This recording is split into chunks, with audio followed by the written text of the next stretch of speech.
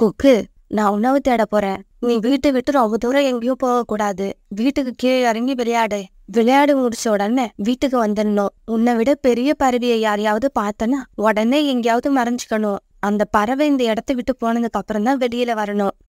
அம்மா நீங்க தினமும் இந்த வார்த்தைகளை சொல்லி சொல்லி என் மனசுல அப்படியே பதிஞ்சு போயிடுச்சு.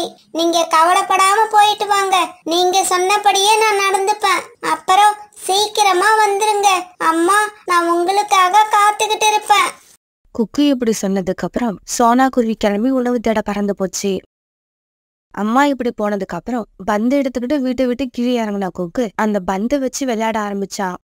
இந்த சமயத்துல ஒரு கழுகு வானத்துல பறந்து வந்தது. இப்படி பறந்து வந்த கழுகு குக்கு பால் விளையாடுறத பாத்துருச்சு உடனே அந்த கழுகு கீழே இறங்கி வந்து ஒரு மரத்தோட கிளைகள்ல மறைஞ்சி குக்குவை கண்காணிக்க ஆரம்பிச்சது.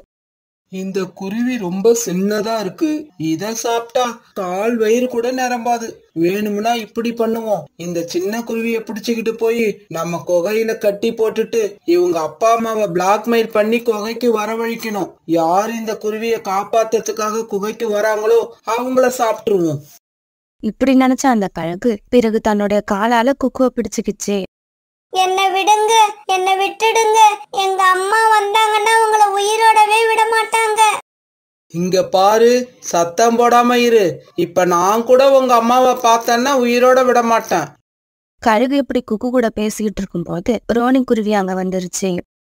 கழுகக்கா அந்த சின்ன குழந்தைய விட்டுடு. அது பாவம்.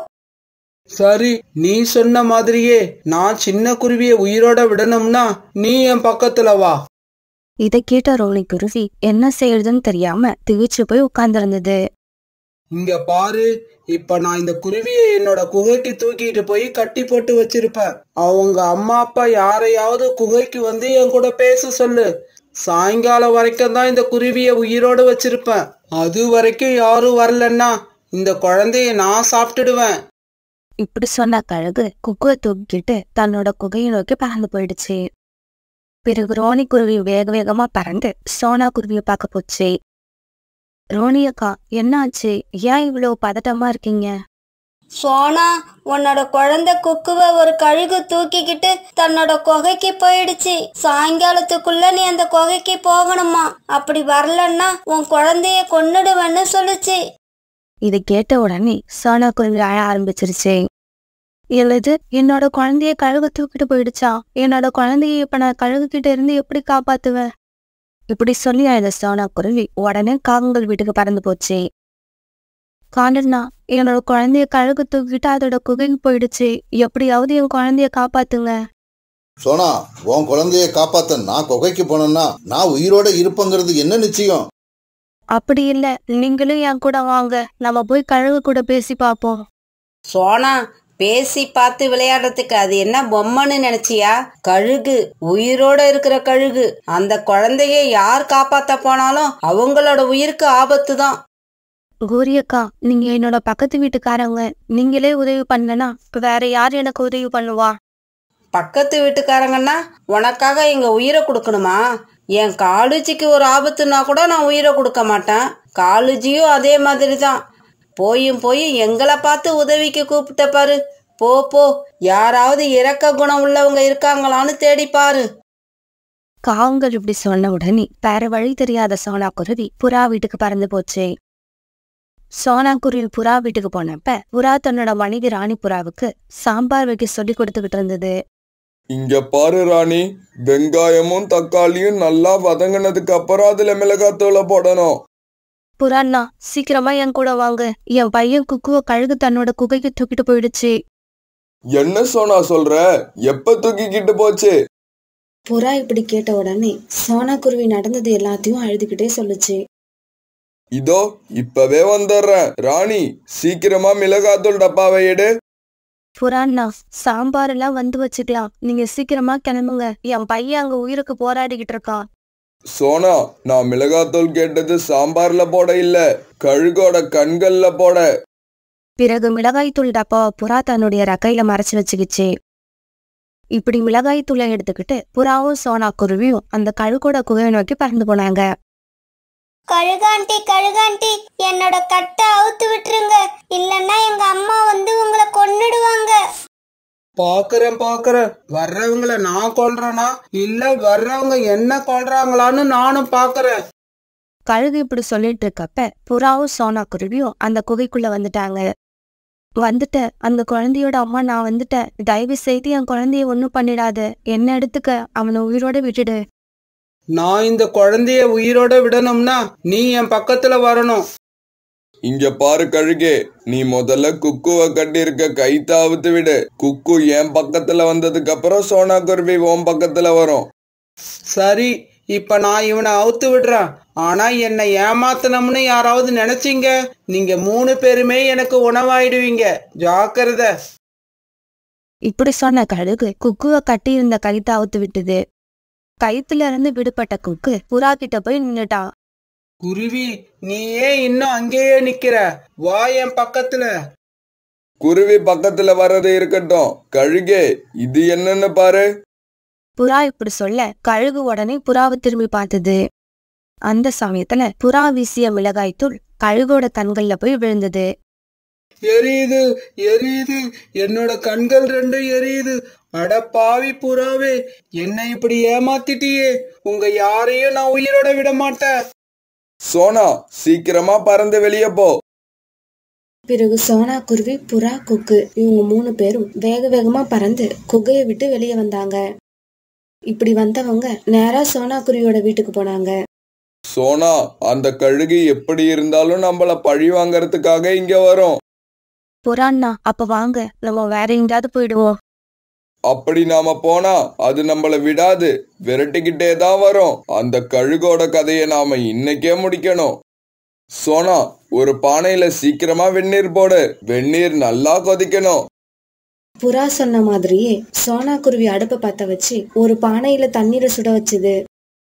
இந்த சமயத்துல அந்த கழுகு தட்டு தடுமாறி ஆத்துக்கு பறந்து போய் கண்ணை கழுவிக்கிட்டு இருந்தது.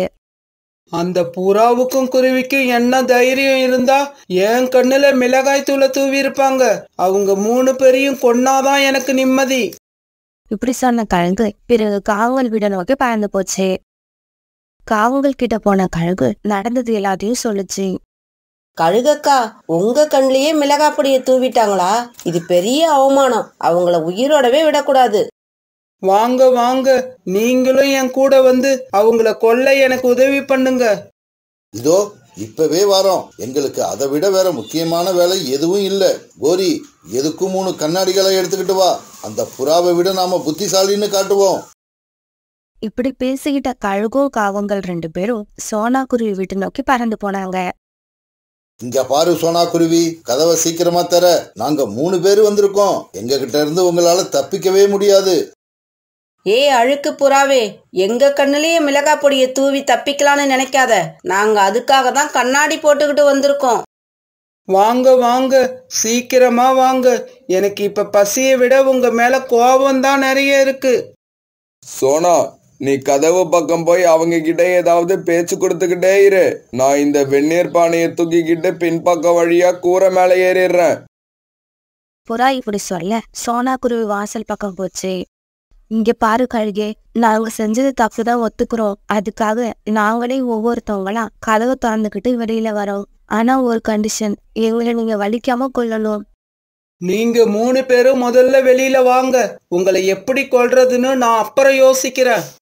இந்த சமயத்துல கூரை மேல வெந்நீர் பானையை தூக்கிட்டு ஏறின புறா நின்னுகிட்டு இருந்த மூணு பேர் மேலையும் வெந்நீரை ஊத்துச்சு. போச்சு போச்சு எல்லாம் போச்சு. என் உடம்பு எரியுது. நான் என்ன பண்ணுவேன்? என்னோட ரெக்கையெல்லாம் வெந்து போச்சு. என்னால இனிமே பறக்க முடியாது போல இருக்கு. அடா பாவி புறாவே. மிளகா பொடி தான் போடுவோன்னு கண்ணாடி போட்டுக்கிட்டு வந்தோம். இப்படி திடீர்னு ஐடியாவை மாத்தி எங்களை பழி வாங்கிட்டியே. நீ நல்லாவே இருக்க மாட்ட. நிறைய வெந்நீர் பட்டதால கழுகு அந்த இடத்துலயே உயிர் விட்டுடுச்சு. காகங்கள் ரெண்டு பேரும் ரெக்கைகள் வெந்து போய் அழுதுகிட்டு இருந்தாங்க. இந்த சமயத்துல சோனா குருவி கொக்கு புறா மூணு பேரும் வெளியில வந்தாங்க. காகங்களே எனக்கு உதவி செய்யுங்கன்னு உங்ககிட்ட எப்படி கெஞ்சினேன்? ஆனா நீங்க எனக்கு உதவி செய்யாம அந்த கழுகுக்கு உதவி செஞ்சீங்க. கெட்டவங்க பக்கம் சேர்றவங்களுக்கு எல்லாம் கடைசியா இந்த நிலைமை தான் வரும். புறா நீ ஏன் சும்மா நிக்கிற? உன் பங்குக்கு நீயும் ஏதாவது தத்துவத்தை சொல்லு. எனக்கு தத்துவம் சொல்ல தெரியாது. பானையில மீதி கொஞ்சம் வெந்நீர் இருக்கு. அதை ஊத்ததான் தெரியும். புறா இப்படி சொன்ன உடனே கீழே விழுந்து கிடந்த காகங்கள் அலறி அடிச்சுக்கிட்டு அந்த இடத்த விட்டு பறந்து போனாங்க. ஒரு பெரிய நதிக்கரைக்கு பக்கத்துல இருந்த அழகான அடர்த்தியான காடு அது. அந்த காடு எல்லா சீசன்களிலும் பசுமையா காய்ச்சலிக்கிறதால நிறைய பறவைகளும் விலங்குகளும் அந்த காட்டை தேடி வந்து அங்க தங்க ஆரம்பிச்சாங்க. அந்த காட்டுல தான் ஒரு பெரிய மரத்து மேல காலுக்காகவும் கோரிக்காகவும் கூடு கட்டி வாழ்ந்து வந்தாங்க. ஒரு நாள் அந்த மரத்து மேல ஒரு கழுகு தன்னோட முட்டையை எடுத்துட்டு வந்து உட்கார்ந்தது கழுகக்கா வாங்க வாங்க. நீங்க எந்த காட்டுல இருந்து வரீங்க? நான் கடற்கரைக்கு பக்கத்தில் உள்ள காட்டுல இருந்து வரேன். இந்த காடு நல்ல பசுமையா இருக்கிறதால இங்க கூடு கட்டி வாழலாம்னு நினைக்கிறேன். தாராளமா தங்குங்க.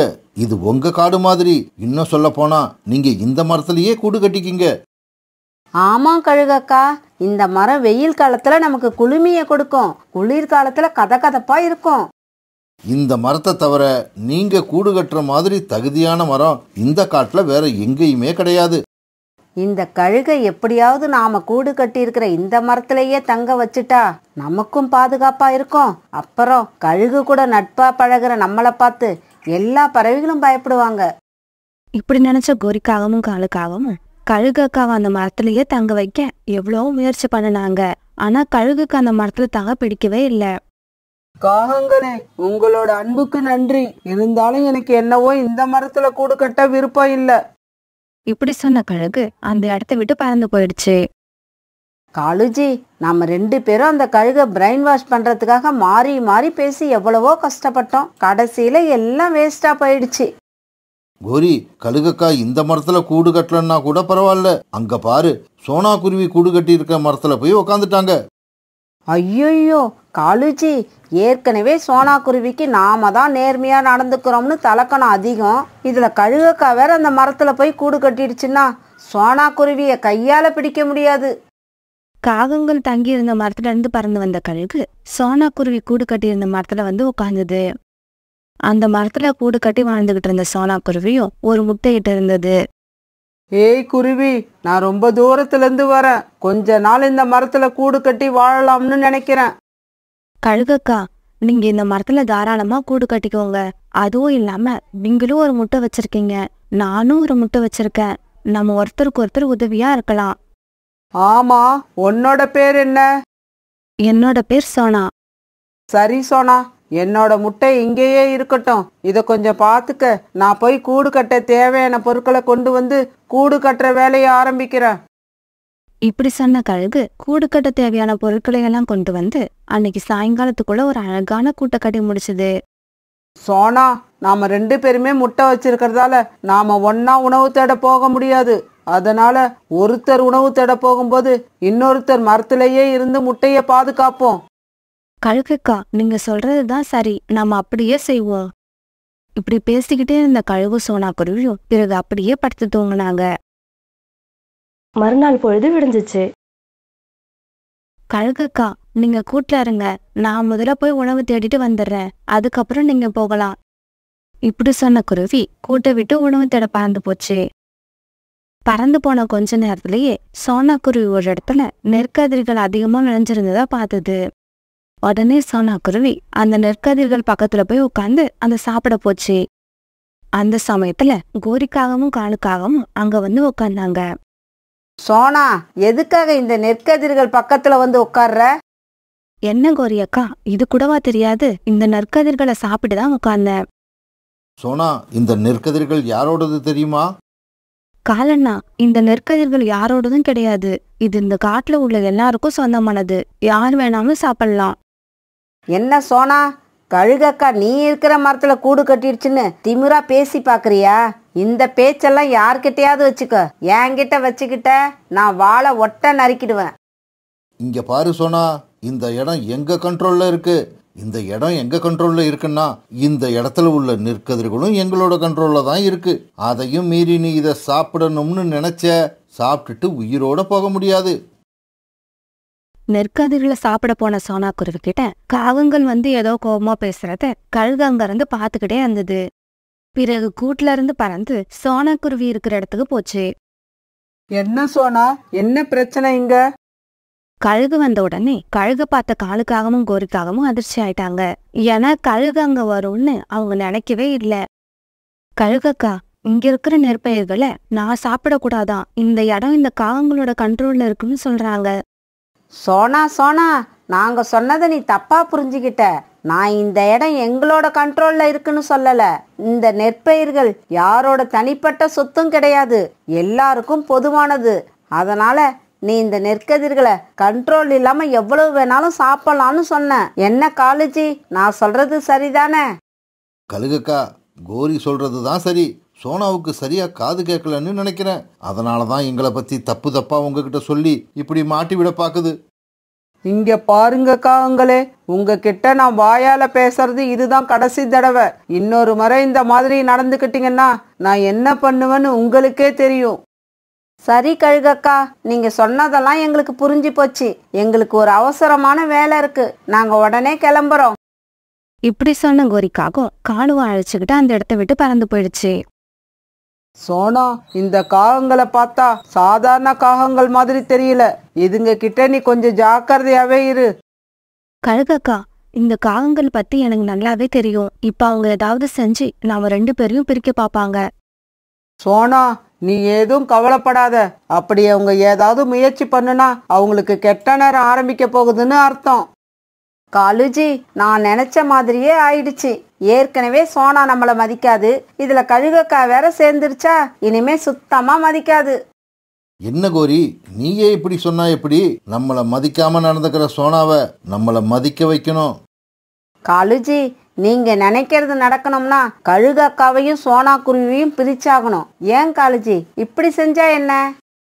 காலுக்காகத்துக்கிட்ட இப்படி கேட்ட கோரிக்காகம் பிறகு காலுக்காகம் காதுல போய் ஏதோ சொல்லுச்சு. கோரி அருமையான ஐடியா. இன்னைக்கு ராத்திரியே நான் அந்த வேலையை கச்சிதமா முடிச்சிடுறேன். அன்னைக்கு ராத்திரி ஆச்சு. காட்டுல இருந்த எல்லா பறவைகளும் தங்களோட கூடுகள்ல தூங்கிட்டு இருந்தாங்க. கழுகக்காவும் சோனாக்குருவியும் தங்களோட கூடுகள்ல படுத்து தூங்கி ரொம்ப நேரம் ஆகியிருந்தது. காலுஜி என்ன வேடிக்கை பார்த்துக்கிட்டு இருக்கீங்க? இதுதான் நல்ல சமயம். சீக்கிரம் போங்க. பிறகு சோனாக்குருவி கூடு கட்டியிருந்த மரத்துக்கு வந்த காலுக்காகம் கழுகக்கா கூட்டுல இருந்த முட்டையை எடுத்து சோனாக்குருவி கூட்டுலயும் சோனாக்குருவி கூட்டுல இருந்த முட்டையை எடுத்து கழுகக்கா கூட்டுலயும் வச்சது. இப்படி செஞ்ச காலுக்காகவும் பிறகு தன்னோட கூட்டுக்கு பறந்து போயிடுச்சு. காலுஜி நீங்க செஞ்ச இந்த வேலையால இன்னைக்கு இல்லாட்டி என்னைக்காவது ஒரு நாள் கழுகக்கா கோவம் வந்து சோனா குருவியை அடிச்சே கொன்னுடும். இப்படி சொல்லிட்டு காலுக்காகவும் கோரிக்காகவும் சத்தம் போட்டு சிரிச்சாங்க. மறுநாள் பொழுது விடிஞ்சிச்சு. மறுநாள் காலையில தூக்கத்திலிருந்து எழுந்திருச்ச சோனாக்குருவியும் கழுகக்காவும் தங்களோட முட்டைகள் மாறினது தெரியாம கூட்டுல இருக்கிறது தங்களோட முட்டைன்னு நினைச்சுக்கிட்டாங்க. பிறகு கொஞ்ச நேரம் கழிச்சு அந்த வழியா ஒரு வயசான கழுகு பறந்து வந்தது. அந்த கழுகு கழுகக்காவை பார்த்த உடனே அங்க வந்து உட்கார்ந்தது ஏய் நீ என்ன இங்கேயா இருக்க? நாங்க எல்லாரும் ஒன்னதான் தேடிக்கிட்டு இருக்கோம். அப்படியா? நீங்க எல்லாம் இப்ப எந்த காட்டுல இருக்கீங்க? இங்கிருந்து வடக்கு பக்கமா ரொம்ப தூரம் போனா ஒரு காடு வரும். அந்த காட்டுல தான் நாங்கெல்லாம் இருக்கோம். சோனா எங்க ஆட்களை நான் சந்திச்சிட்டேன். இதுக்கப்புறம் எனக்கு கவலை இல்ல. நானும் அவங்க கூடவே போயிடுறேன். கழுகக்கா நீங்க உங்க கூட்டத்தோட சேர்ந்ததை நினைச்சு எனக்கு ரொம்ப சந்தோஷமா இருக்கு. மகிழ்ச்சியா போயிட்டு வாங்க. என்ன மறந்துடாதீங்க. பிறகு கழுகக்கா தன்னோட முட்டையை எடுத்துக்கிட்டு அந்த கழுகு கூட பறந்து போயிடுச்சு. இப்படியே சில நாட்கள் நகர்ந்துச்சு. ஒரு நாள் தன்னோட முட்டையில இருந்து கழுகு குழந்தை வெளிவந்ததை பார்த்த சோனா குருவி அதிர்ச்சி ஆயிடுச்சு. கடவுளே என்ன இது? என்னோட முட்டையில இருந்து எப்படி கழுகு குழந்தை வெளிவந்தது எனக்கு ஒண்ணுமே புரியல. சோனா குருவி கழுகு குழந்தைய பார்த்த உடனே கொஞ்ச நேரம் இப்படி கண்ணீர் விட்டு அழுதுகிட்டே இருந்தது. கொஞ்ச நேரம் போனதுக்கு அப்புறம் என்ன நடந்திருக்கும்னு சோனா குருவியால யூகிக்க முடிஞ்சது. ஆமா அப்படிதான் நடந்திருக்கணும். என்னோட முட்டையும் கழுகக்காவோட முட்டையும் இடமாறிடுச்சு ஆனா இந்த முட்டைகள் அதுவா இடமாறி இருக்காது. யாரோ வேணும்னு இடமாத்தி வச்சிருக்கணும். அம்மா அம்மா எனக்கு பசிக்குது. சாப்பிட ஏதாவது கொடுங்க. கழுகு குழந்தையோட குரலை கேட்ட சோனா குருவிக்கு அதை பார்க்க ரொம்பவும் பாவமா இருந்தது. உடனே தான் வச்சிருந்த இனிப்பான பழங்களை எடுத்து அதுகிட்ட கொடுக்க. அந்த குழந்தையும் ஆசையா சாப்பிட ஆரம்பிச்சது. ஆமா இது எப்படி நடந்திருக்கும்னு நீ நினைக்கிற? மலை பக்கம் உள்ள காட்டுல நானும் ஒரு குருவியும் பக்கத்து பக்கத்துல கூடு கட்டி வாழ்ந்தோம். அந்த குருவி பேரு சோனா. ரொம்ப நல்ல குருவி. என்னோட முட்டையும் அதோட முட்டையும் தான் இடம் மாறிடுச்சுன்னு நினைக்கிறேன். இப்பவே போய் அந்த குருவி குழந்தைய சோனா குருவி கிட்ட ஒப்படைச்சிட்டு வரப்போறேன். இங்க பாரு இது குளிர்காலம். இந்த குழந்தைய தூக்கிக்கிட்டு போனீன்னா வீசுற குளிர்காத்துல இந்த குழந்தை வெறச்சே செத்துடும். ஒரு ஆறு மாசம் பொறு. வெயில் காலம் ஆரம்பிச்சதுக்கு அப்புறம் இதனை தூக்கிக்கிட்டு போகலாம். கழுகக்கா மனசுலயும் இந்த கழுகு சொல்றது சரின்னு பட்டுது. பிறகு குருவி குழந்தைக்கு தானியங்களையும் இனிப்பான பழங்களையும் கொண்டு வந்து கொடுக்க ஆரம்பிச்சது. நாட்கள் இப்படியே ரொம்ப வேகமா ஓடுச்சு. முழுசா ஆறு மாசம் முடிஞ்சு போயிடுச்சு. சோனக்குருவி கழுகோட குழந்தைக்கு பீம்னு பேர் வச்சிருந்தது. அம்மா அம்மா நாளைக்கு தூரமா போக போறோம்னு சொன்னீங்கல்ல எங்க போக போறோம்? நாளைக்கு நம்ம அம்மாவை பார்க்க போறோம். அம்மாவையா? யாரோட அம்மா? உங்க அம்மாவா? இல்ல பீம் உன்னோட அம்மா. இல்ல நீங்க பொய் சொல்றீங்க. என்னோட அம்மா என் பக்கத்திலேயே இருக்காங்க. குக்கு நாளைக்கு உன்னை கொண்டு போய் ஒரு இடத்துல விட்டுட்டு வந்துருவேன். நீ அங்கதான் இருக்கணும். இருக்கிறேம்மா. ஆனா ராத்திரிக்குள்ள என்ன கூப்பிட வந்துருவீங்க இல்ல குக்கு இப்படி சொன்னதை கேட்டுட்டு கழுகக்கா அழ ஆரம்பிச்சிடுச்சு. சோனா குருவி பீமை தூக்கிட்டு வடக்கு பக்கம் உள்ள காட்டை நோக்கி பறக்க ஆரம்பிச்சது. அதே மாதிரி கழுகக்காவும் குக்குவை தூக்கிட்டு சோனா குருவி இருந்த காட்டை நோக்கி பறக்க ஆரம்பிச்சது. பீம் என்ன நீ மறந்துட மாட்டல்ல? உங்களை எப்படி மறக்க முடியும்? உங்களை விட்டு பெருஞ்சாதான மறக்கறதுக்கு. நான் தான் உங்க கூடவே இருக்க போறேனே. அம்மா அம்மா எனக்கு தண்ணி தாகமா இருக்கு. குக்குவை தூக்கிட்டு ரொம்ப தூரம் பறந்து வந்த கழுகக்கா உடனே வழியில இருந்த ஒரு நதிக்கரையில தண்ணீர் குடிக்கிறதுக்காக கீழே இறங்குச்சு. பீமை தூக்கிட்டு வந்த சோனா குருவி அந்த நதிக்கரையில உட்கார்ந்திருந்த கழுகக்காவை பார்த்துருச்சு.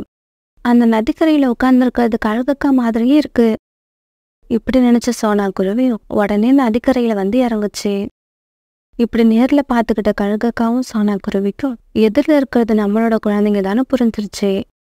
சோனா நம்மள நேர்ல எதிர்க்க முடியாத அந்த காகங்கள் செஞ்ச வேலைய பாத்தியா? கழுகக்கா இதுக்கு காரணம் அந்த காகங்கள தான் இருக்கணும்னு நானும் சந்தேகப்பட்டேன். பீம் இவங்க தான் உன்னோட அம்மா. அவங்க கிட்ட போயிடு. குக்கு நீயும் உங்க அம்மா கிட்ட போப்பா. பிறகு சோனா குருவியும் கழுகக்காவும் தங்களுடைய குழந்தைய ஆசையா தூக்கி தான் நெஞ்சோட அணைச்சிக்கிட்டாங்க. ஆண்டி என்னை கீழே இறக்கி விடுங்க. நான் எங்க அம்மா கிட்ட போறேன். விட்டுடுங்க. என்னை விட்டுடுங்க. நான் எங்க அம்மா கூட தான் இருப்பேன். எங்க அம்மா கிட்டயே விட்டுடுங்க. நான் அவங்க கூட தான் இருப்பேன்.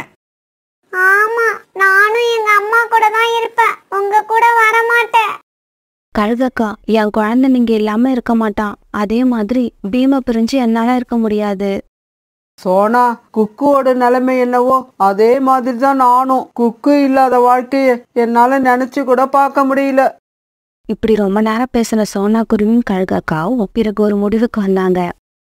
ஆமா சோனா நீ சொல்றதுதான் சரி. நாம ரெண்டு பேரும் பழையபடி மலை பக்கம் உள்ள காட்டுக்கே போயிடுவோம். முன்னாடி இருந்த அதே மரத்துல பக்கத்து பக்கத்துல கூடு கட்டிக்கிட்டு நாலு பேரும் ஒன்னாவே வாழ்ந்துடுவோம். இப்படி பேசிக்கிட்ட கழுகாக்காவும் சோனா குருவியும் பிறகு தங்களோட குழந்தைங்களை தூக்கிட்டு மலை பக்கம் உள்ள காட்டை நோக்கி பறக்க ஆரம்பிச்சாங்க.